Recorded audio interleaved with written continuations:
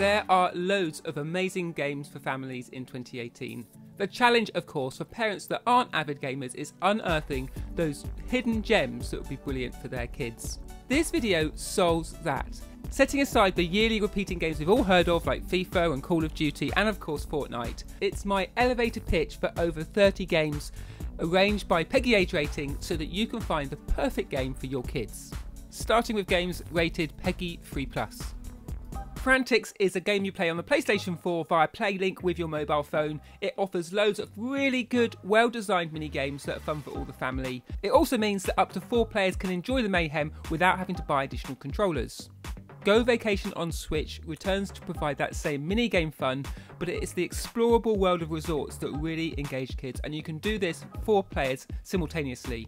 Forza Horizon 4 takes that realistic Forza racing simulation and puts it into a beautiful open world. This time we come to Britain, and 450 cars, there is really something for everyone. Tricky Towers comes to Switch this year. Now, if you haven't played it, it's like Tetris, but the sides of the well aren't there, so you have to balance your towers. In a family with four players, this is just great fun and really accessible. Mini Metro also comes to Switch this year, a beautifully simple design your own underground transport simulator. It's a combination of simplicity and strategy that makes the game so well. It may look easy to start, but make no mistake, doing well in the game and working up the daily challenge leaderboards requires a lot of skill and a lot of practice.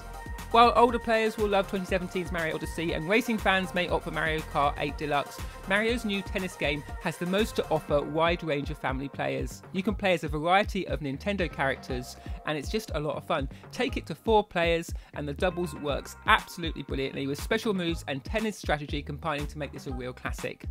Donut County is a story based physics puzzle where you play an ever growing hole in the ground and you have to move that hole around and get various buildings, people, items, all sorts of things to fall into it. As you do that, the hole gets bigger and you can then swallow bigger things. You can also catapult things back out of the hole to solve other puzzles. Combine this with a well told, beautiful story for kids, and this is a game that the whole family will love. Rocket League Collector's Edition came out at the beginning of the year. This is an amazing game. It takes that competitive edge of combining football and cars, which actually sounds crazy, but it works, particularly in the four player split screen for the family. Better than that, you need to really hone and perfect your skills over months and months of play to really excel at this game. Overcooked 2 follows up the success of the original with a cooking challenge where up to four players have to deliver a variety of dishes in some unusual circumstances. Young players may need a little bit of help to get started on this, but visually it really appeals to all ages.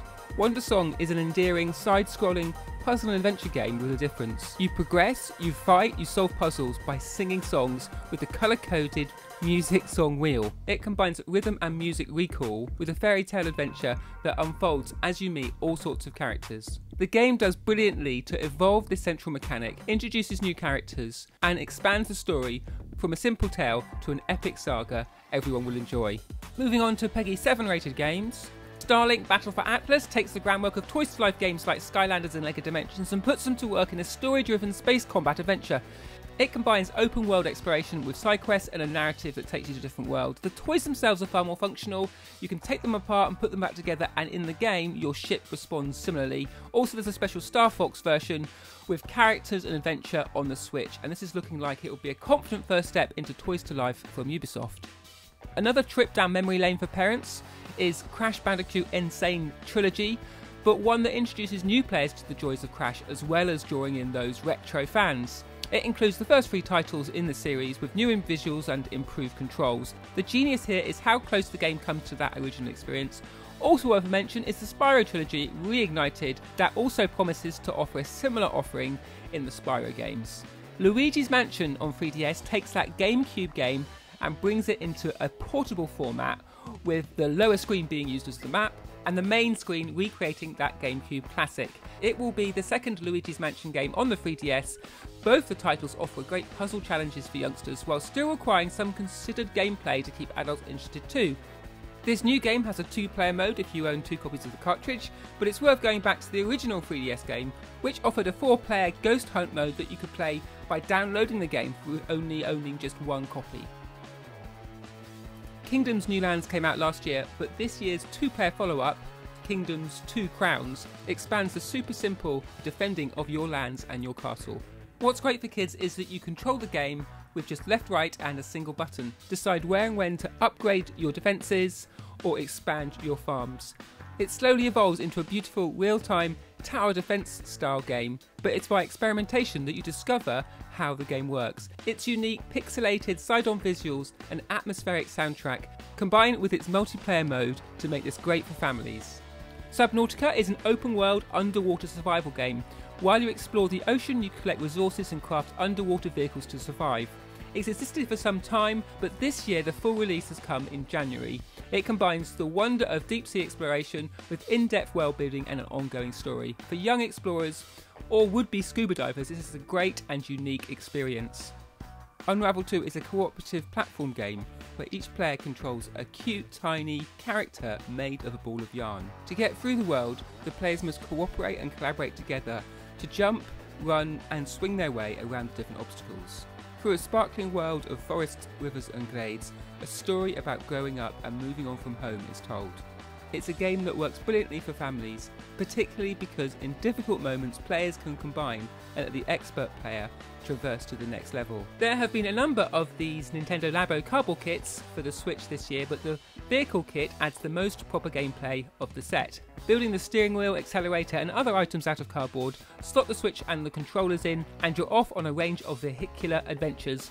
Younger children do need some help with the assembly, and it works best when the family builds together. But as a way to expand play beyond the screen and discover new ways to play with your Switch, it's a welcome and innovative game for families. Terratech is a sandbox vehicle battle game. Players build contraptions and vehicles with a wide variety of interchangeable parts. Care and attention to designs will result in different vehicles and varying performance. It's been available on PC for some time, but this year came to Xbox One and PlayStation 4. The vehicle building system and resulting battles are the biggest draw for young players, but it's also fun just to muck about in the world as well. If you purchase a Switch this year, you may have missed out on Mario and Rabbids Kingdom Battle.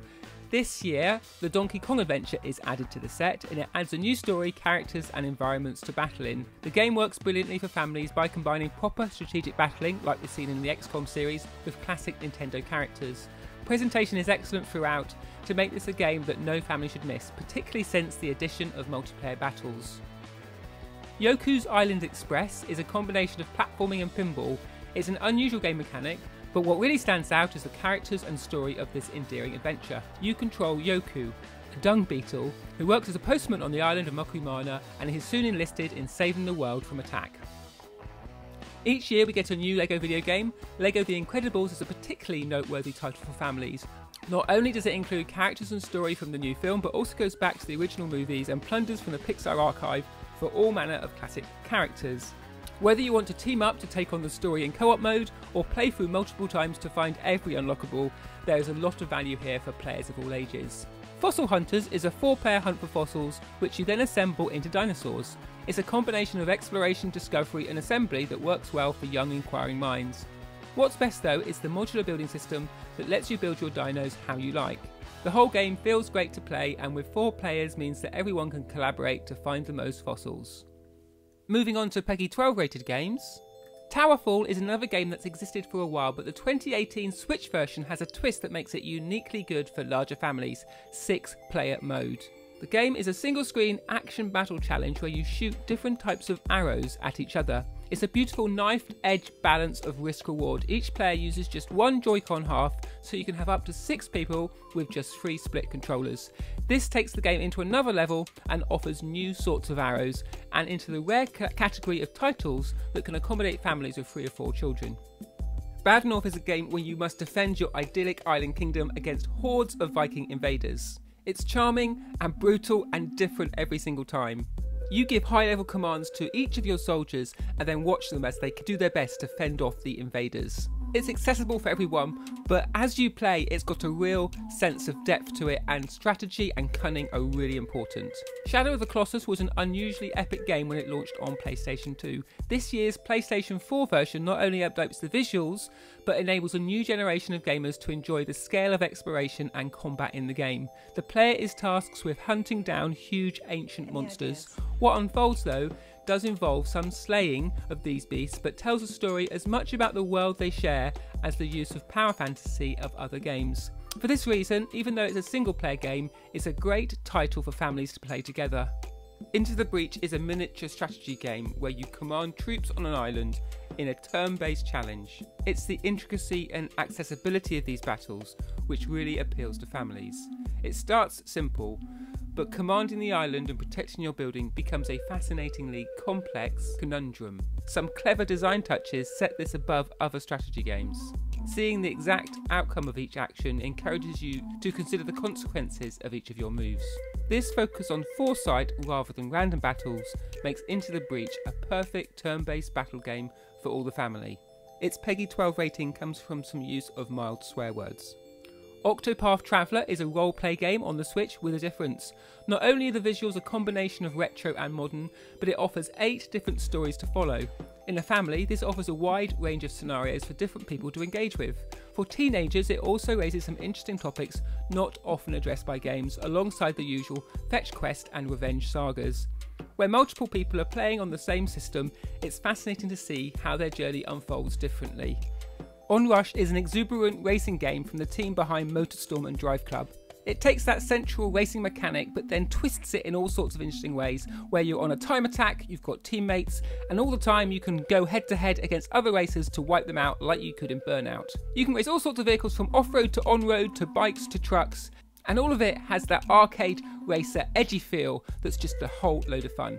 The Smash Bros. series of fighting games has been hugely popular on previous Nintendo systems. Super Smash Bros. Ultimate combines exuberant knife edge combat with the fun and frivolity of a huge round of Nintendo characters. The Switch version, coming in December, promises to continue this tradition and will be a great amount of fun for families. It extends the number of players to 8 and hosts a whole load of new characters. If you have a Switch, this would definitely be on your Christmas list, along with additional controllers so that everyone can play. Sea of Thieves is an open world pirate adventure on Xbox One and PC. The other ships in the game are all controlled by real players. To pilot your own ship, you may often team up with other people to take on the different roles required on board. Along with this, make your own fun aspect of the game. There are quests and storylines to follow. The game has been well supported with ongoing content updates and is a great experience for families with teenagers. Ni no Kuni 2 Revenant Kingdom is a hand drawn role play game that follows on from Ni no Kuni Wrath of the White Witch. We play as a young boy who has been kicked out of his castle and must re establish a new kingdom. There is an element of free roaming, but where the game really excels is at offering a well told story with engaging characters. For families wanting to share the adventure or teenagers who want a unique experience, this is one of the highest quality on offer. Overwatch Legendary Edition is a first person shooter that's been hugely popular since it launched. This edition brings together previous release content into one package. The game offers a teenager friendly shooting and fighting in arena battles from a first person perspective and is a great deal of fun. The range of characters and skill required to do well make for an excellent online experience. Moving on to PEGI 16 rated games for older teenagers. Marvel's Spider Man is a PlayStation 4 exclusive. While parents should check out the game for its moderate violence, families that love Spider Man will enjoy this impressive experience. Not only is it an original story, but with the game mechanics, fighting, and interactions are simply amazing. Rated 13 plus in the US, there are moments when close quarter combat depicts blood and injuries, but played together, this is a great, high octane game to share. West of Loathing is a single player slapstick adventure where you play a stickman that has to traverse snake infested gulches, punch skeletons, wear cowboy hats, and even grapple with demon cows. It looks basic and simple, but actually offers a sprawling open world full of danger, quests, puzzles, and mysteries. But more than that, this is a beautifully written, tongue in cheek adventure. The PEGI 16 rating is because of alcohol and tobacco, but you should note there is some mild fantasy violence, a little bit of blood, and some suggestive themes. So this is a game that older teenagers will enjoy as well as mum and dad. Although Ark Survival Evolved has been around for some time on other systems, the Android and iOS version came out this year, offering new ways to play the game. In it, you are dropped on an island teeming with creatures and dinosaurs with the only the bare essentials to survival. The open world play enables you to collect, craft, and build structures to survive. It takes this basic Minecraft premise but adds real physics and realistic visuals.